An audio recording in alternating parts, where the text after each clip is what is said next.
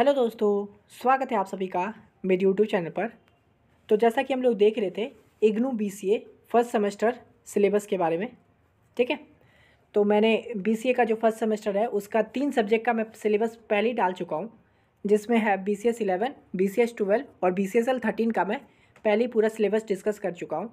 और आज हम लोग इस वीडियो में देखने वाले एफ़ ई ज़ीरो टू और उसके बाद हम लोग देखने वाले इको ज़ीरो वन आज इस वीडियो में हम लोग इन दोनों सब्जेक्ट का सिलेबस पूरा देखेंगे। ठीक है? तो देखिए, यहाँ पे है F E zero two foundation course in English two ये जो है foundation course in English two ये है हम लोग का सब्जेक्ट का नाम। ठीक है?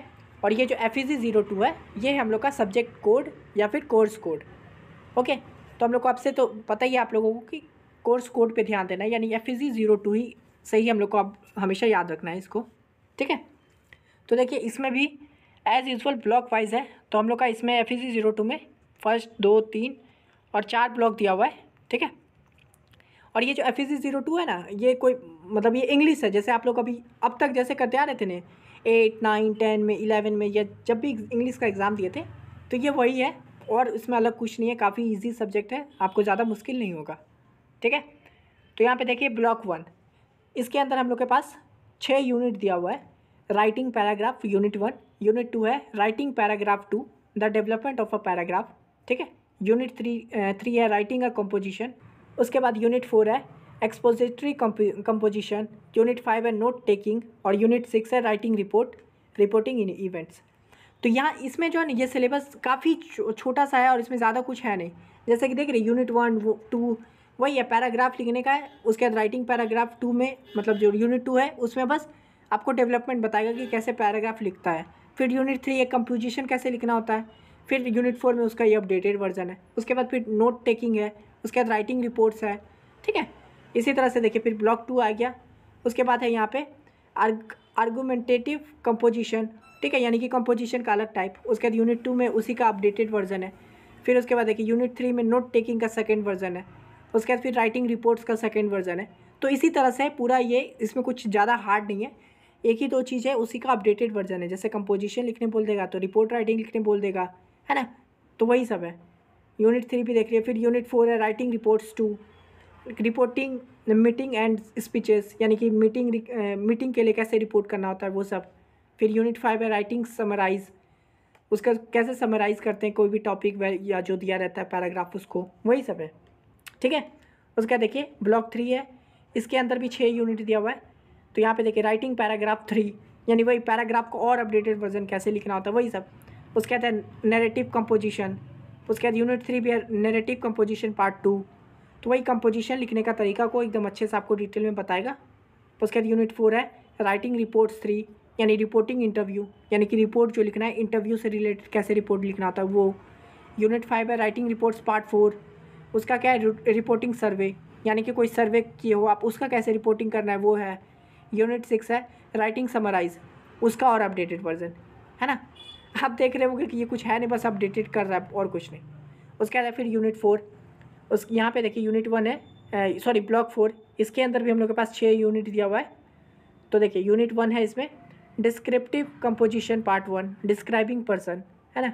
यानी कि आप कंपोजिशन के बारे में बोल रहा है तो उसमें पहला है कि पर्सन को कैसे डिस्क्राइब करते हैं उसके बाद देखिए डिस्क्राइबिंग प्लेसेस एंड ऑब्जेक्ट वही है कंपोजिशन का part two places and object को कैसे करते हैं? उसके बाद देखिए कंपोजिशन का पार्ट थ्री है. डिस्क्राइबिंग कंडीशन एंड प्रोसेस उसके बाद फिर यूनिट फोर है नोट टेकिंग उसके बाद फिर writing reports five five part five reporting experiments यानी एक्सपेरिमेंट्स पे कैसे रिपोर्ट करते हैं? उसके बाद है समिंग अप तो इसी तरह से आपका पूरा ये सिलेबस है, ठीक है? इसमें ज़्यादा कुछ नहीं है बस एक ही चीज़ों को आपको एकदम और अच्छे से डिटेल में बताने के तौर पे वो बताया हुआ है, ठीक है? और ये एफ़ एस ज़ीरो टू जो है ए में इसका फिफ्टी मार्क्स का पेपर होता है तो ज़्यादा हार्ड नहीं होता, एकदम सिंपल आराम से कर सकते हो। तो ये था हम लोग का एफ़ एस ज़ीरो टू का। अब देखिए आप लोग का सवाल होगा कि इसको पढ़े कहाँ से? मतलब जो भी है, इसको पढ़ना तो होगा ना कहीं से? तो देखिए मैंने, मैं इस चैनल पर ना प्रॉपर पढ़ाई करवाता हूँ, ठीक है? मेरा इस चैनल पर काम है प्रीवियस ईयर सॉल्व करवाना। तो मैंने एफ़ एस ज़ीरो टू का भी प्रीवियस ईयर सॉल्व करवा दिया एकदम अच्छे से। दो पेपर को एकदम मैं अभी तक करवा चुका हूँ। तो मैं आपको उस पूरे प्लेलिस्ट का लिंक आपको डिस्क्रिप्शन में दे दूँगा। तो आप डायरेक्ट वहाँ से जाइए वीडियो देखिए, वहाँ से आप देख लीजिए आपको कैसे बनाना होता है एग्ज़ाम में कैसे क्वेश्चन आते हैं, उसको कैसे लिखना होता है पैराग्राफ कैसे लिखना होता है है ना?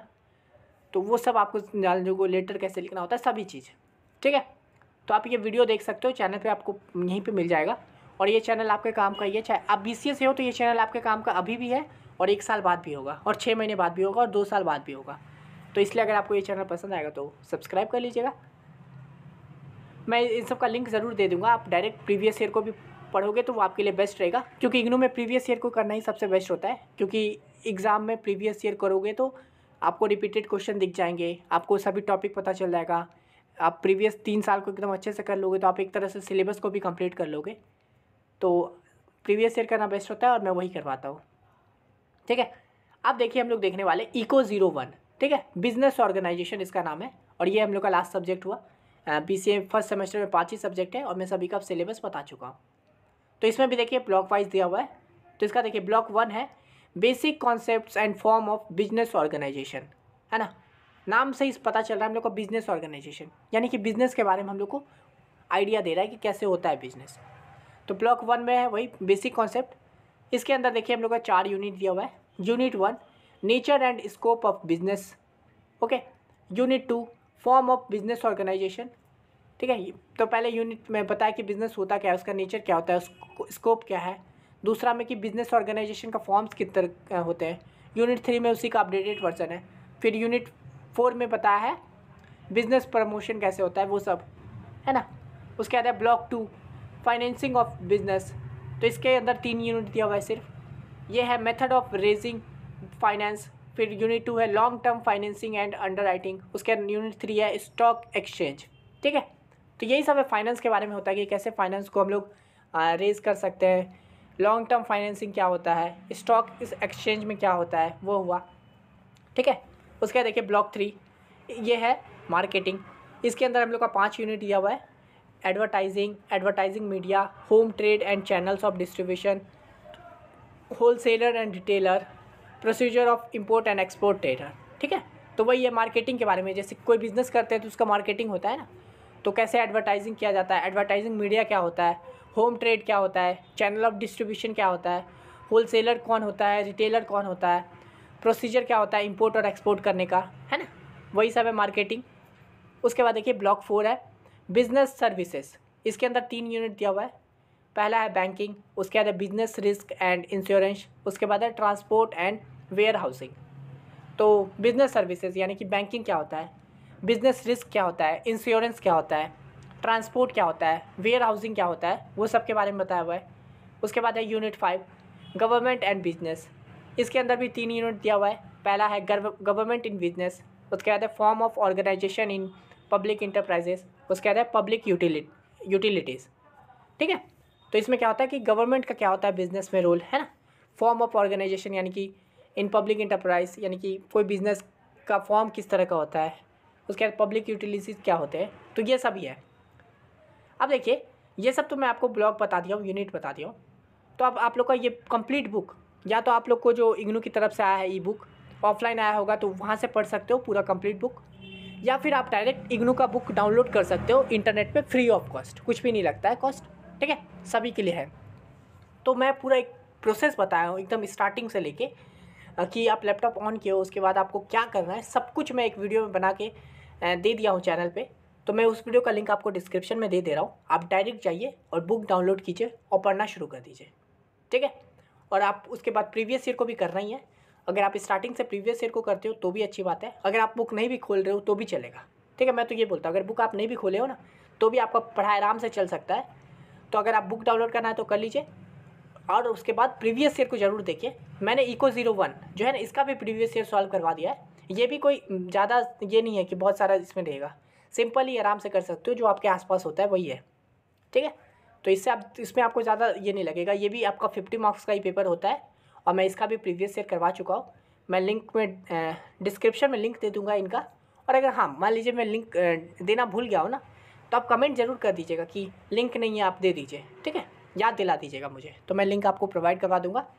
इसका भी प्रीवियस ईयर का और एफ़ ई ज़ीरो टू का भी करवा दूँगा। और और बाकी सब्जेक्ट जो इनका है, अगर आप वीडियो नहीं देखे हो तो मैं उन सब का भी वीडियो बना दिया हूँ।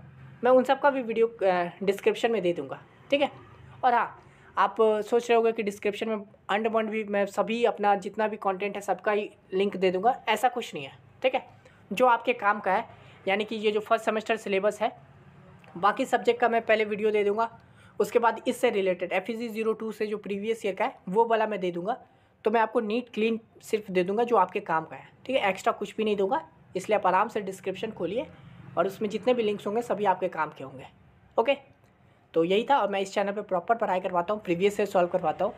मैंने फ़र्स्ट का तो सभी सेमेस्टर करवा ही दिया सभी सब्जेक्ट का सेकेंड का भी करवा चुका हूँ थर्ड का भी करवा चुका हूँ। आने वाले वक्त में मैं आगे सभी का भी करवा दूँगा। तो ये चैनल आप सब्सक्राइब करके रख लीजिए। अभी भी काम का है छः महीने बाद भी है, साल भर बाद भी है और दो साल के बाद भी है। जब तक आप इग्नू से बी कर रहे हो, ये चैनल आपके काम का है। तो चलिए, मिलते हैं नेक्स्ट वीडियो में। तब तक के लिए धन्यवाद।